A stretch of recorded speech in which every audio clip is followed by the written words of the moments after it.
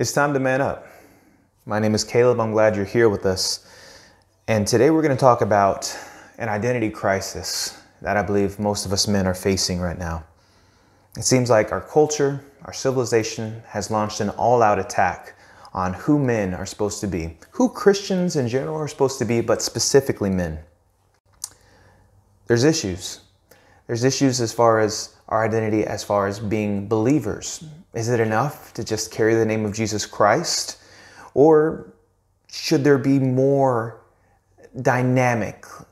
Should there be more dynamically? Should there be more of a supernatural change in who we are as opposed to just being like everyone else, just with a different name tag on? I truly believe that if we properly recognize our God given identity, our God given role, and our God given purpose as men in this life, we'll truly find God's will for our life. This isn't just a clickbait title. Um, there are specific verses in Scripture, including one where it says it's God's will for us to give thanks. It's God's will for us to be physically pure, spiritually pure. But in general, this, I believe, is something we can apply to every man, every Christian, but specifically every man.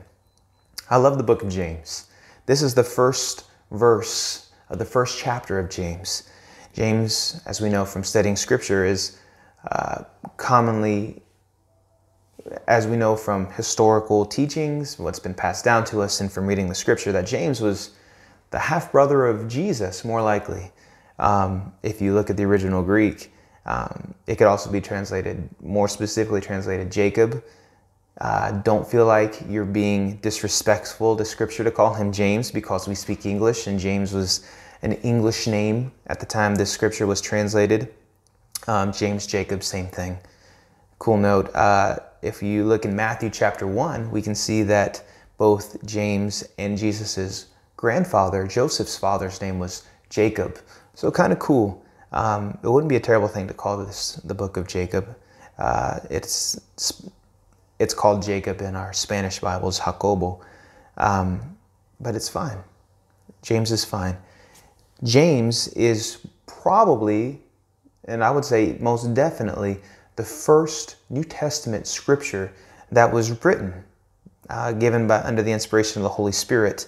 Uh, some historians say it's in the early 60s or 50s. I've even seen some say that maybe 48 or 49 AD is the most probable uh, time for the writing of the book of James, which is awesome. It's just, it's less than 20 years from the time when Jesus was alive and walking and doing miracles and teaching and, and preaching and healing and dying and being buried and rising again. And so this is written to New Testament believers so soon and so fresh after the crucifixion, the burial, and the resurrection of Jesus Christ and his ascending into heaven. And so, this being the first, not in canon, not in the canon in the order of what our scripture is, but this being the first revelation of God since the Old Testament, it has to have a special spot in our attention and our focus and, and in our pursuit as far as how we study the Bible and how we attempt to live for God. The Bible says in James 1 1, James, a servant of God and of the Lord Jesus Christ, to the 12 tribes which are scattered abroad, greeting. Um, we know who James is. And if you were to read this as it was written in the original Greek, you wouldn't read James, a servant of God and of the Lord Jesus Christ, to the 12 tribes which are scattered abroad, greeting. Now, you'd obviously read it in Greek, but in the order that it was written in Greek, it would have been written as James of God and of the Lord Jesus Christ, a servant. I find that very interesting because the first thing we're going to look at is our identity. What is our identity as men, as believers, as men of God? And James, his identity is found immediately in God and in the Lord Jesus Christ. Who is God? God is the creator of the universe. He's so all powerful that he created all of existence without lifting a finger. He spoke everything into existence. In the beginning, God created the heavens and the earth. In the beginning was the Word, and the Word was with God. The Word was God. The same was in the beginning with God. Every time you read, and God said, Let there be light, and God said, and God said, and God said, that is God, the very presence of God, not even lifting his finger to complete all of existence. And then the Word of God, the person of the Word of God, Jesus, created all of existence. That is our God. He is the ever present being, He is omnipresent, He is everywhere at once at all times. He is above all time. God created time. He cannot be subject to his creation. Just like when I make a pizza, I am not subject to that pepperoni or to the cheese or to the sauce or to the crust. It is subject to me because I formed it and I created it. God created time, therefore, he is above time itself. That'll come to play later in James. God is the one who divinely led Abraham into his will. God is the one who led Joseph and allowed him to go into Egypt. God led the children of Israel out of Egypt through calling Moses. This same God who led Moses to the promised land, to the very border. This same God who led Joshua through the promised land, all the way up to the point where he says to the 12 tribes and even to the two sons of Joseph, All right, and choose you this day whom you will serve. And if it seems evil unto you to serve God, all right, time to make your choice. If it's such a terrible thing to serve this great and awesome God, this same God who, who anointed David, this same God who anointed the prophets with their fiery words of accountability and of judgment, this same God who so loved the world that gave his only begotten Son, that whoever believes in him should not perish but have everlasting life. This is the God of whom James serves. James says, I could stand and say, I am one of the founding fathers, if you will, of the Christian church. James could say, I'm the brother of the Son of God, at least a half brother. That's got to count for something. James could stand and say, I am this great spiritual leader, this fantastic writer, this great speaker. He says, James of God. There's nothing of me in all of this. This is all God and of the Lord Jesus Christ. He finds his identity in the person of Jesus Christ who thought it not robbery to be equal with God. It was not a sinful or reproachable thing to be called just like God, but made himself of no reputation and took upon him the form of a servant and was made in the likeness of man. This, this tender root out of a uh, this tender root out of a dry ground, this lamb brought before the slaughter in him is no sin, in him is no darkness. He is light, and this light shineth in the darkness. He is the light of the world. He is the way, the truth, the life. Who made himself sin for us, who knew no sin, that we might be made the righteousness of God in him. This all powerful being who made himself ultimately weak for us without losing any bit of his deity or any bit of his power. This is who James finds his identity in. And he recognizes him as Lord. He says, The Lord Jesus Christ, because of who he is, he has full right and he is totally entitled to everything that I am, every thought that I have belongs to God. Every word that I could ever say belongs to God. Everything I could ever do belongs to God. I question myself and I wonder, I really wonder what my thought life would be like if Jesus Christ were Lord of my thoughts. If I regarded as every idle thing that ever entered into my mind, if I regarded that as the Lord's and not Caleb Martinez's, how that would affect me. If I regarded every word that ever came out of my mouth or even started to come out of my mouth, if I regarded it as words coming from the mouth of Jesus Christ through my body instead of just my words that I haphazardly toss around, how would that affect me? Would people identify me as anything different if I so personally considered myself God's property? And if I truly accepted the fact that I'm not my own, but I'm bought with a price, the payment has been paid for the right of all my words and all my actions and all my thoughts. He is Lord of my life. And yet I so often dethrone him and I make myself and my preferences and my pride and my selfishness, my fears, my insecurities, I make them the Lord of my life instead. James found his identity in the person of God and of his Lord, our Savior, Jesus Christ. See, his identity was found in the power of God and in the passion of Jesus Christ and in the preeminence of our Lord. But I want you to notice also our role. He says, James, a servant. The highest calling we could ever have in this life is the calling to be a servant. Let this mind be in you, Philippians chapter 2 says, which is also in Christ Jesus. The Bible says in Philippians chapter 2 and verse 2 Fulfill ye my joy that ye be like minded, having the same love, being of one accord and of one mind. Let nothing be done through strife or vainglory, but in lowliness of mind let each esteem other better than themselves. Look not every man on his own things, verse 4, but every man also on the things of others.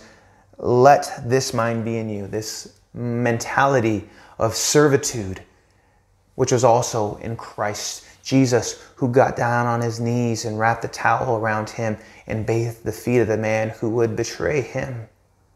How he showed no favoritism nor partiality to the people he offered his services to, knowing that Judas was going to reject his love. He who tasted death for every man, knowing, knowing long in advance, before the foundations of the earth were formed, who was going to accept that free gift and who was going to reject that free love gift. Let this mind be in you.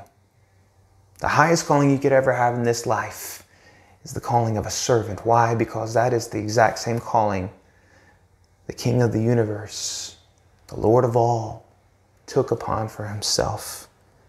And if we dare to call ourselves Christians, then take the name of Jesus Christ and apply it to our own lives, we ought to also take on his occupation of serving.